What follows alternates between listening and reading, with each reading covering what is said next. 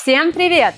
Представьте, что вы смотрите свой любимый сериал. И вдруг в любовной линии происходит неожиданный поворот. Вам, конечно же, захочется обсудить это с кем-то еще. Или вы хотите пересказать друзьям сюжет любимого книжного романа, а может рассказать, что случилось в отношениях у знакомых. Как же сделать это на английском языке? Узнайте сегодня на уроке. Давайте разбираться, как же говорить об отношениях и их перипетиях на английском языке. Говорить об отношениях нам сегодня помогут Росс и Рэйчел из сериала «Друзья», одна из самых известных пар в истории телесериалов. В отношениях этой пары было столько всего, идеально для разбора английской лексики. Начнем. Росс и Рэйчел впервые встретились еще в школе.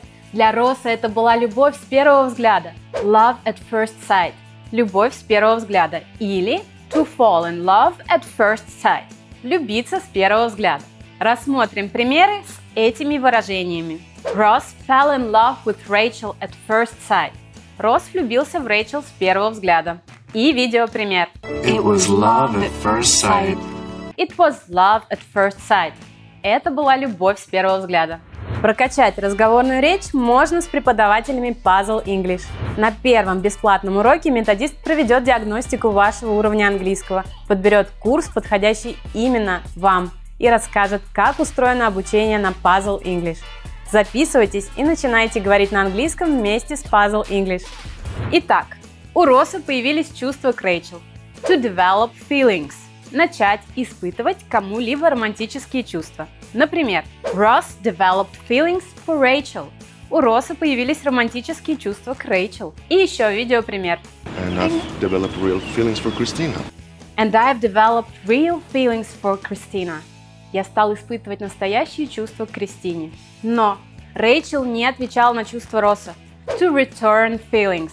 Отвечать взаимностью на чувства – Хотя это неудивительно, ведь Рэйчел и не подозревала тогда о чувствах Росса. Рассмотрим пример, где используется это выражение. Rachel didn't return Ross's feelings.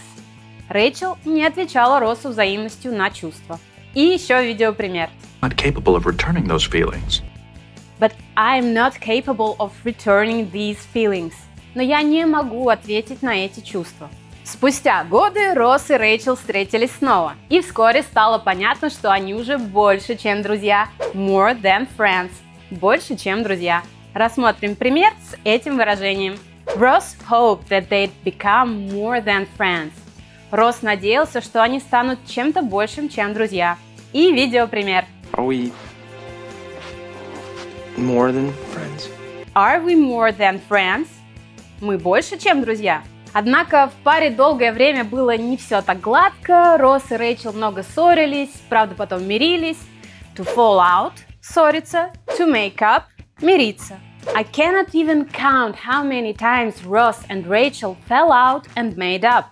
Я не могу даже посчитать, сколько раз Росс и Рэйчел ссорились и мирились.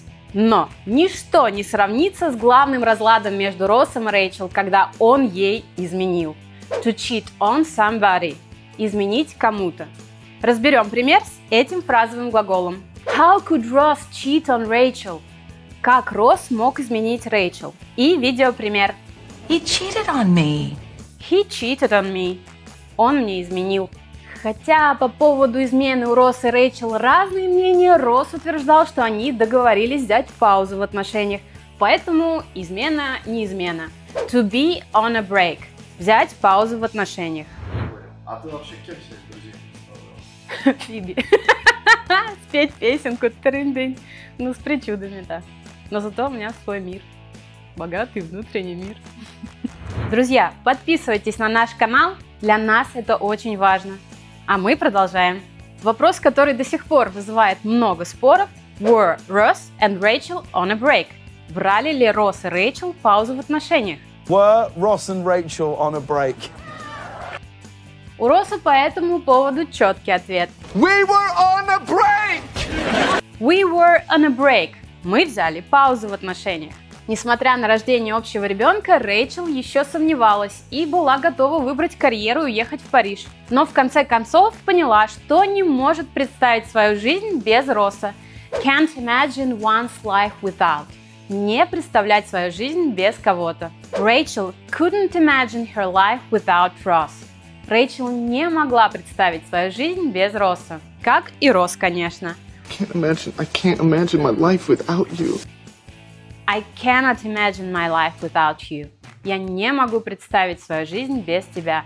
Итак, мы сегодня разобрали выражения, с которыми вы теперь с легкостью сможете описать отношения на английском. Кстати, а у вас есть любимая кинопара? Опишите их отношения, используя лексику сегодняшнего урока. Буду ждать ваши комментарии под видео. На этом на сегодня все. Пока-пока!